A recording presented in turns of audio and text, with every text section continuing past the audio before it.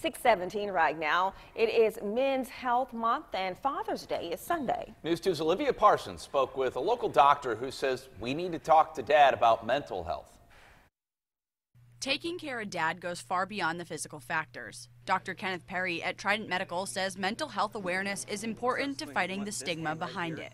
But people still feel concerned about bringing up the fact that maybe they're not as happy as they used to be. Maybe they're just not finding joy in the things that they used to find joy in.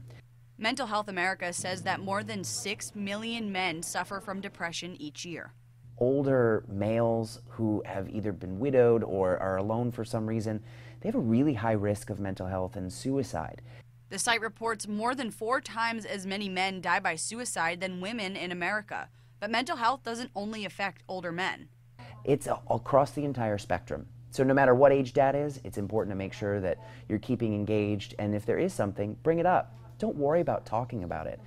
Dr. Perry says people sometimes resort to exercise as a means of overcoming mental health issues, and that a jog around the block can help you get back on track.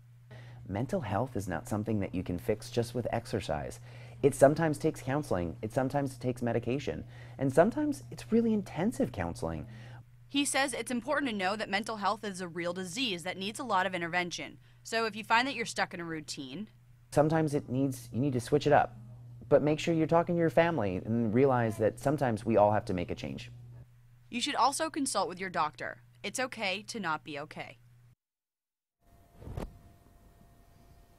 That was Olivia Parsons reporting. According to Mental Health in America, men are less likely than women to seek help for depression.